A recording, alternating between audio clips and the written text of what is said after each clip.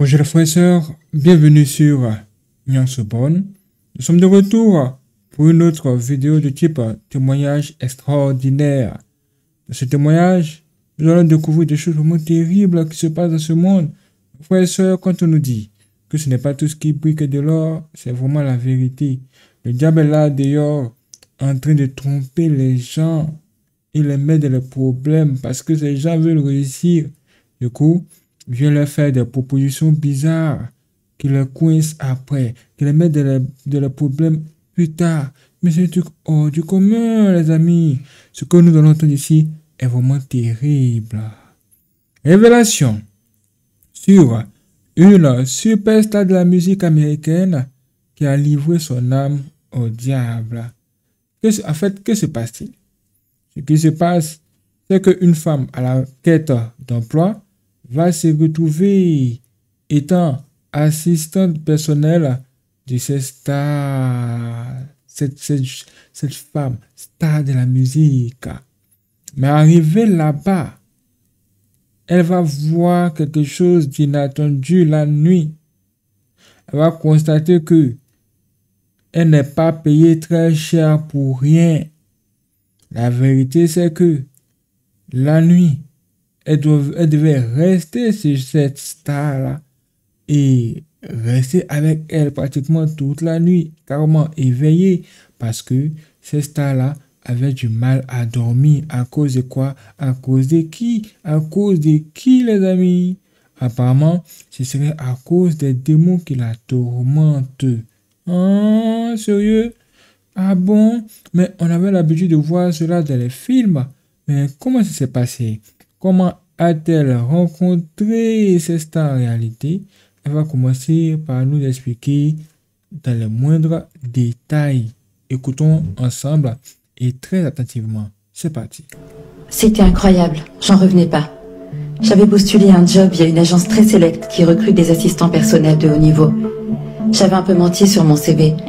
J'avais 25 ans à l'époque, mais je m'étais inventé une expérience au sein d'une riche famille russe en tant qu'assistante personnelle de Madame. Oui, sur les descriptifs de poste, c'est ainsi que sont nommés les futurs employeurs, Madame et Monsieur. J'ai donc obtenu ce job de rêve auprès d'une immense star internationale dont je tairai le nom. Je pense que j'ai été sélectionnée parce que j'étais jeune, j'avais à peu près le même âge que la star en question, célibataire, sans enfant, disponible à 100% et même polyglotte. L'agence m'avait avoué avoir vérifié ma présence sur le net, mais n'avait trouvé aucune trace de moi. Par chance, je n'étais pas attirée par les réseaux sociaux, et je suis d'une manière générale très discrète sur ma vie. Cela joue en ma faveur. J'ai passé plusieurs entretiens, plusieurs tests psychologiques et notamment des tests de mise en situation, comme ils disent, le but étant de vérifier mes réflexes et ma capacité à gérer les situations stressantes. J'étais surexcitée. Le salaire proposé était démentiel. Je pensais alors que la contrepartie la plus difficile serait simplement la grande disponibilité qui me serait demandée et les nombreux déplacements à prévoir pour la suivre. Oui, il s'agit d'une artiste féminine. Le jour de notre rencontre, je l'ai rejoint dans sa somptueuse chambre d'hôtel. Elle était assise près de la fenêtre et ne m'a même pas regardée lorsque je suis entrée. Elle était comme ce que j'avais pu voir à la télé ou dans les magazines, mais bien plus petite que je l'imaginais. C'est sûrement pour ça qu'elle porte souvent des talons démesurés et avec un style très étrange. Elle m'a expliqué comment elle souhaitait fonctionner et m'a de suite dit qu'elle avait besoin de quelqu'un de disponible nuit et jour en insistant sur la nuit et non uniquement la soirée. J'ai accepté en disant que si cela devenait trop compliqué à gérer, je lui en parlerai quand j'aurai fait mes preuves et que je me serai rendu indispensable. Elle fit un sourire de contentement et c'est ainsi qu'a débuté notre collaboration.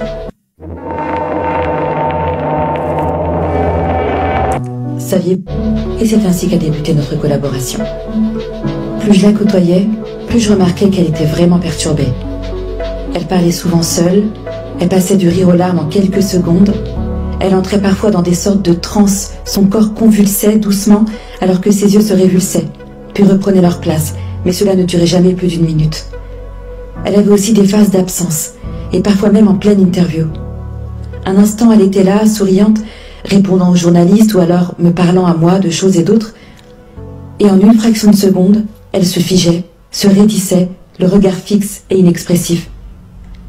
On aurait même dit qu'elle ne respirait plus pendant ces moments-là.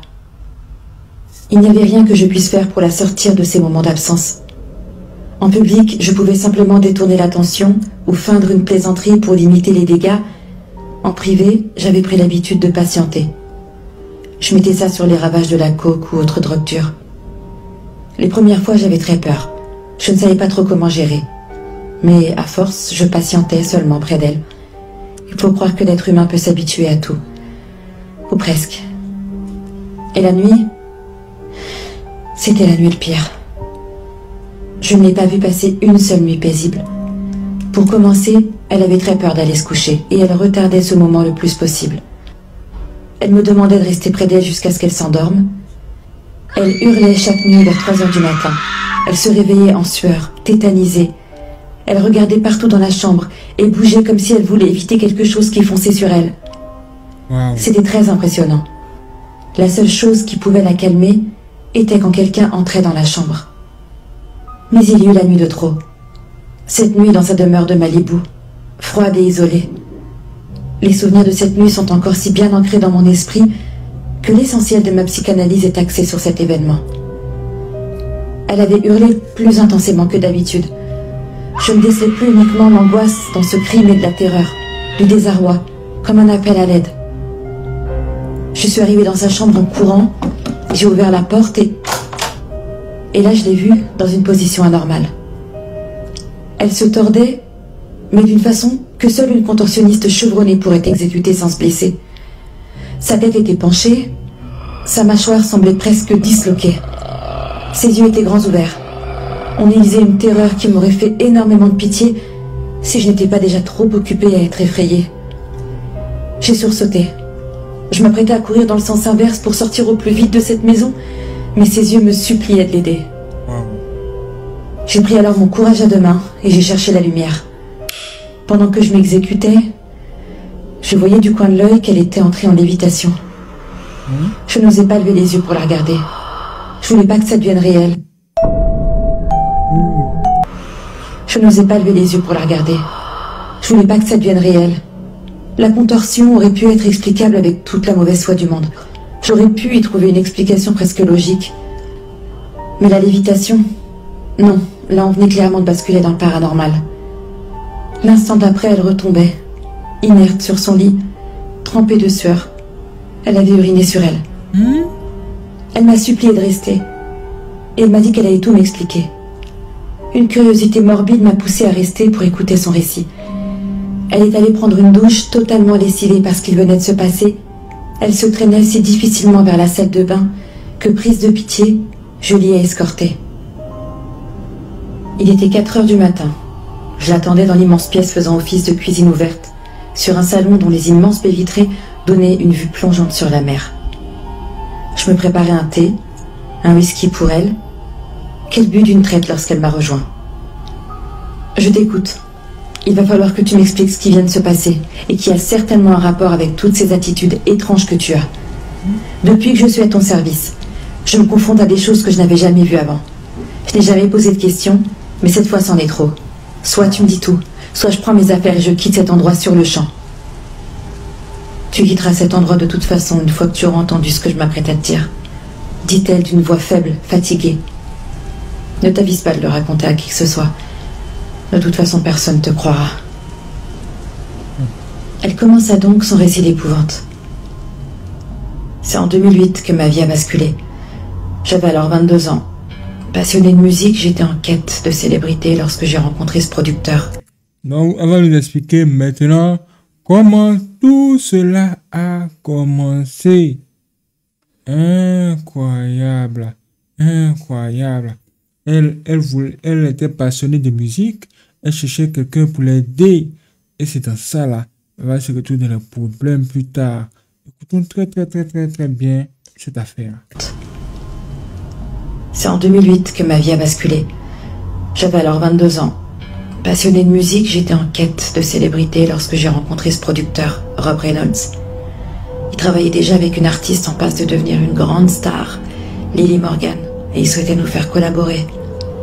Je supportais pas de voir l'avenir prometteur de Lily alors que moi, qui étais bien plus talentueuse, je peinais à faire apprécier mon art. Un soir, j'étais invitée à une soirée prestigieuse avec les plus grands artistes de ce monde. J'ai rencontré alors un grand acteur hollywoodien que tu admires certainement toi aussi. J'étais admirative. Je lui demandais comment il avait réussi une telle carrière étant parti de rien. Je lui disais que j'admirais son parcours et que je donnerais tout pour vivre une telle réussite. Faut croire qu'il m'a prise au mot, puisqu'il m'a dit qu'il percevait dans mes yeux la lueur de la détermination et que si j'étais vraiment prête à tout, alors il pourrait m'expliquer le secret ultime de sa réussite. Il prit un air très sérieux. J'ai senti qu'il plaisantait pas. Il m'a demandé si j'avais déjà entendu parler du pacte avec le grand commandant en chef. Comprenez, Satan lui-même. Je lui ai répondu que j'avais eu vaguement des échos de ça, mais que c'était des histoires d'Halloween qu'on se raconte près du feu. Il a souri et m'a dit Et si je te disais que c'est très sérieux que j'y ai eu recours Incroyable. Et là, on lui parle de quoi? De Satan. Elle dit Tu veux réussir Mais est-ce que tu connais le grand commandant en chef? Est-ce que tu connais? Celui que nous commandons nous tous ici Hein? Incroyable. J'étais passionnée d'ésotérisme, ayant totalement rejeté mon éducation catho, alors j'étais curieuse et puis si ça fonctionnait, c'était la gloire éternelle qui m'attendait. Et sinon, eh bien, je me serais juste fait avoir par une superstar. Il m'a donc expliqué, avec le ton le plus sérieux du monde, le rituel pour entrer en contact avec le commandant en chef.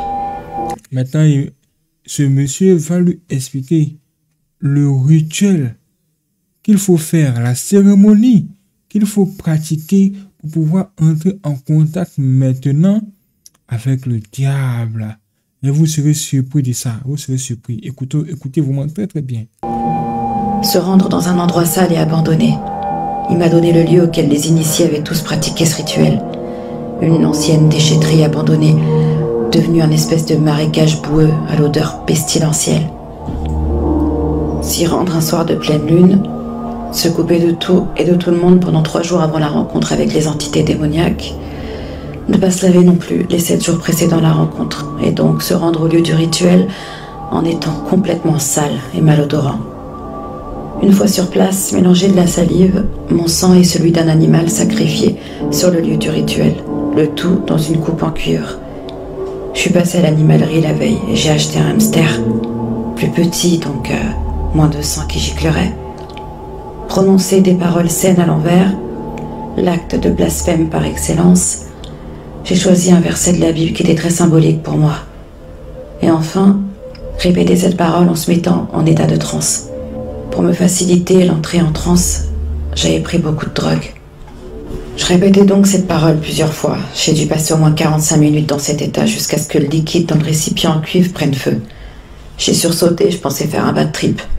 Et là, la fumée générée par le feu s'est matérialisée en face de moi, en un homme d'une beauté extraordinaire. J'avais jamais vu un homme aussi beau.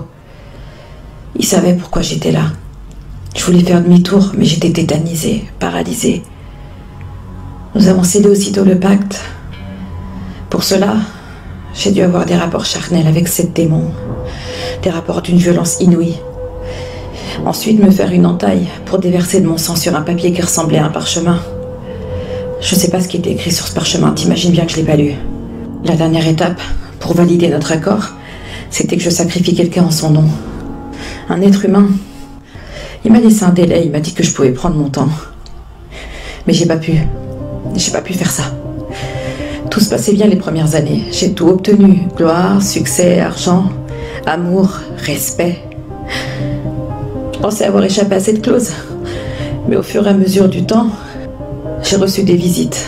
Le jour, la nuit, tout le temps. Des démons s'amusent à mes dépens. Ils prennent possession de mon corps, même en public, comme pour me faire comprendre que je suis à leur merci. Elle se leva, marcha dans la cuisine, puis continua ainsi. Mais je sais ce qu'ils veulent. Ils veulent que je finalise notre accord. Ils veulent que j'honore ma part du contrat. Tu comprends? Je dois le faire. Sinon, ils ne me laisseront jamais. Ils auront mon âme après ma mort, mais je voudrais profiter un minimum de ma vie ici-bas. Elle prit un énorme couteau de cuisine et se jeta sur moi. Je lui jetai au visage la bouilloire qui, Dieu merci, était juste à côté de moi. J'ai pris mes jambes à mon cou, attrapa au vol les clés de sa voiture et m'en alla sans me retourner. Je suis allée au poste de police le plus proche expliquant que, dans un accès de démence, elle avait tenté de m'attaquer et que je m'étais enfuie en portant son véhicule, dont je leur remettais les clés. Elle est connue pour être instable et colérique. Les officiers m'ont cru tout de suite. Je n'ai jamais raconté cela à la presse ou à qui que ce soit d'autre d'ailleurs, car on ne m'aurait jamais cru. Je n'ai pas passé une seule nuit paisible depuis.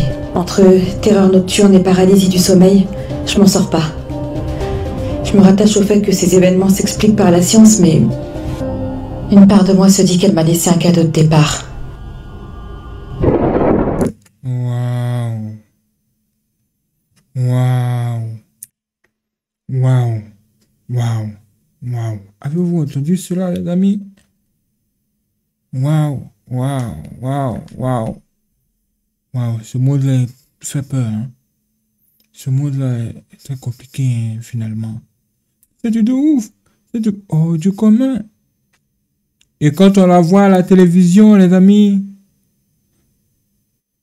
on voit une personne extraordinaire.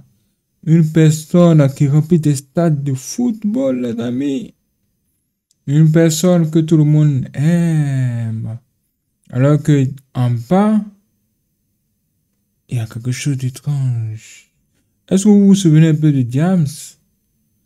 James, cette euh, rappeuse française qui, à un moment donné, nous expliquait comment elle se sentait quand elle rentrait à la maison après ses concerts. Frères et sœurs, c'est vraiment terrible ce monde. Il y a tas de choses secrètes. Il y a tas de, il y a de pièges dans ce monde. Souvenez-vous, il y a quelqu'un qu'on appelle le commandant en chef. Il, il, ils appellent le diable le commandant en chef. Et il y a un contrat qu'il faut signer avec son sang. Et il faut signer ce contrat que lui-même va vous donner. Une fois que vous signez ça, vous ouvrez la porte de votre vie aux démons. Et en contrepartie, ils vont vous donner des choses comme le succès, des choses comme la gloire. Vous serez reconnu par tout le monde. Mais la réalité, c'est que ceux qui vont vous applaudir, ceux qui vont vous reconnaître, ce sont des personnes sorcières, des personnes sataniques, comme, ou encore des personnes qui appartiennent au diable. C'est-à-dire que quand vous allez signer votre, votre, le pacte avec le diable, les gens qui seront fans de vous, ce seront les sorciers, les satanistes, tous les gens qui sont sous la domination du diable. Et puisque vous soutiennent, vous aurez euh, beaucoup de choses, vous aurez l'argent, la bonne chose, les choses qui peuvent vous attirer, les choses que, que vous pouvez aimer très facilement, vous vous facilitez les, les choses, vous vous ouvrez les portes, euh, partout où vous passez, on vous laisse pas, en fait, vous êtes bien accueilli, partout vous êtes, euh, vous êtes euh, honoré, tout simplement parce que vous avez déjà signé un pacte avec le diable et eux ils vous soutiennent parce que dans le monde là-bas ils se soutiennent entre eux. Mais la nuit, vous allez être tourmenté par les démons, par les créatures vraiment horribles. Ces gens ne vont pas vous donner la paix de l'esprit. Ils vont en tout cas s'arranger à ce que vous puissiez souffrir et souffrir. Et ce n'est que le début du commencement. Parce que même après la mort, ils continueront à vous faire souffrir et souffrir. Et en plus de cela, vous devrez offrir encore des sacrifices humains ça veut dire que cela, ça devient euh, euh, de l'esclavage spirituel. Vous devenez un esclave spirituel. En même temps, vous devenez un agent du diable. Une personne que le diable a utilisée à n'importe quel, quel moment pour combattre un chrétien qui est quelque part là-bas ou un homme de Dieu sincère qui est quelque part. Ça veut dire que signer le pacte avec le diable, c'est accepter d'être euh, sous la domination du diable, de devenir aussi une marionnette du diable. Est-ce que vous voyez un peu? C'est la, la, raison pour laquelle vous voyez souvent il y a des guerres, il y a des mots à gauche à droite, personne ne parle. Aucune star ne se lève pour parler. Ou bien quand elle se lève pour dire quelque chose, c'est qu'elle a été envoyée. Il y a quelque chose derrière. Il y a un complot encore derrière. Il y a beaucoup de pièges dans ce monde quand vous voulez réussir dans dessus de la musique, par exemple, vraiment, c'est grave. On vous dit que vous avez le talent, mais il y a des millions de personnes qui ont le talent. Et que pour, il faut quelque chose en plus pour, que vous puissiez éclore. Et c'est là, on vous amène à coucher avec d'autres hommes. Si vous êtes un homme, à coucher avec d'autres femmes. Si vous êtes une femme, on vous amène. C'est-à-dire, ils veulent vous amener à faire des choses qui vont amener Dieu à vous régner. Il veut vous amener à faire des choses qui vont amener Dieu à vous dire c'est plus la peine quoi. Genre, il veut vous amener à faire des choses qui vont, euh, qui vont attirer la malédiction sur vous au maximum, de sorte à ce que euh, vous ne puissiez pas même avoir la grâce de Dieu pour au paradis, quoi. Et c'est exactement ce que le diable fait. On nous dit que le diable est descendu sur la terre, animé d'une très grande, en fait, l'animé d'une grande colère. C'est une haine pas possible. Vous voyez, c'est ce gars qu'elle a là. Ouais, fait ça? Ses yeux sont même rouges. C'est un truc de ouf, les amis. C'est un truc hors du commun, cette affaire. Dites-moi ce que vous en pensez. Soyez-vous, soyez prudents. Et que Dieu vraiment nous aide à ne pas tomber dans de tels pièges.